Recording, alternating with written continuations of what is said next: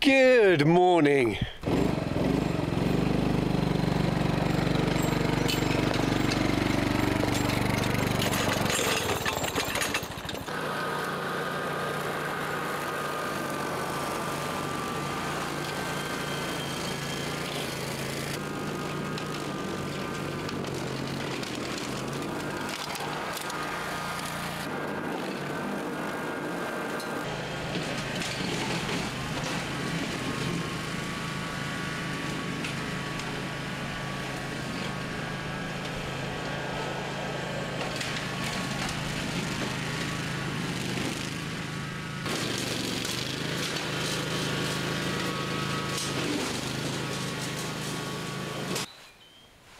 Nothing says the sun's shining and we're all coming back to work together better than reopening the summer barbecue area.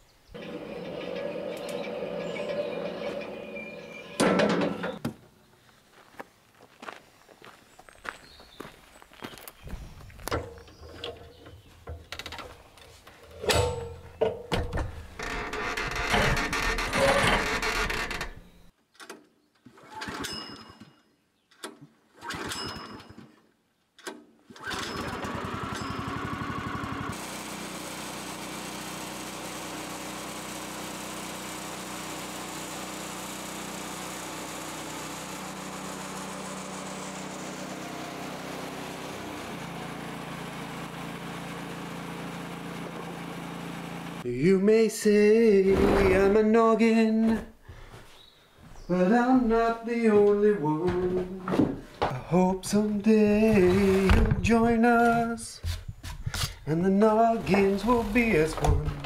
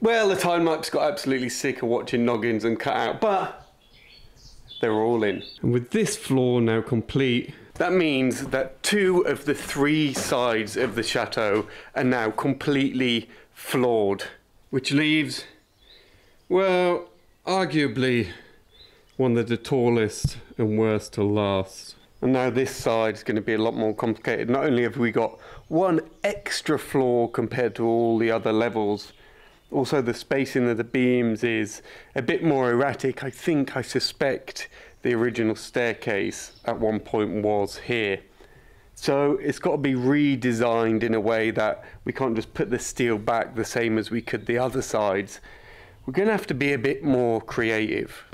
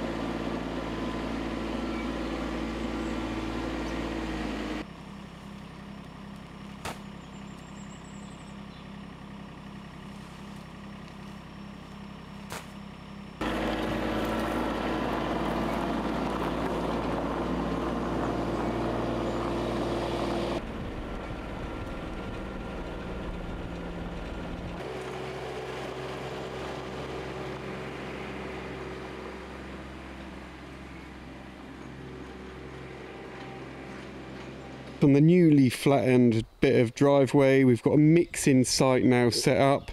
I'm Going to get a load of gravel and sand dumped there and the water bowser is just behind. This bowser can be towed by the tractor down to the swimming pool.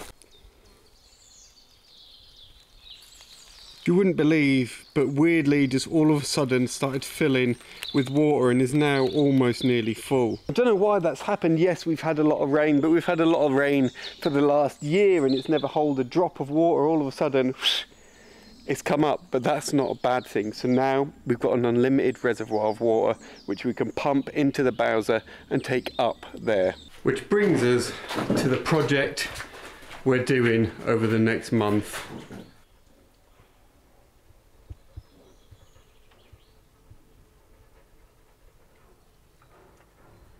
Going to work on putting the floors in this side and it's quite a big deal because there's a lot more involved in it. We've got to re-clear out this whole ground floor again but it's not as bad as the first time. We've got to build a wall. We've got to reinstate the wall which we originally took down in here so we could clear it. Then we've got to put the steels above and then that gives us for the first time ever to be able to walk from the front of the chateau steps all the way through and out the back. There's a lot of processes involved as well as clearing off up there and actually inside there you will remember is a void I discovered which needs clearing out as well.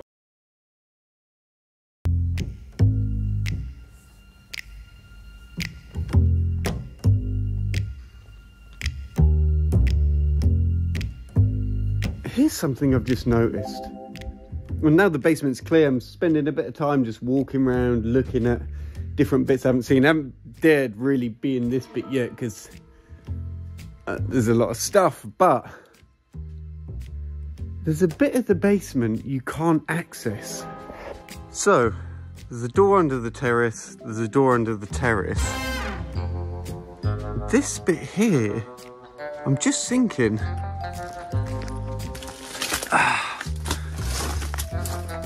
so here are the two doors. And there's this little square. Now, it's not big, but it must be hollow.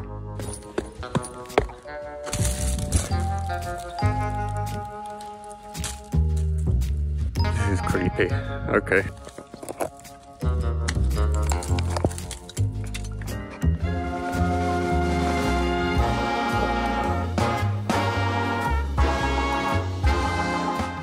It's either bodies or treasure. God, I'm dying to have a look down there now.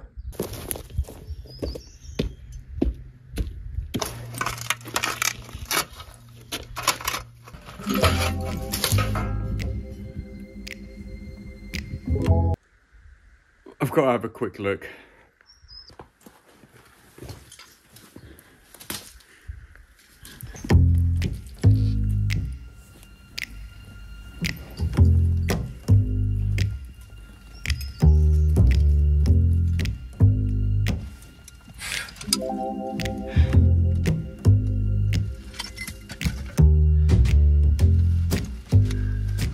It looks like there's a lot of debris here, but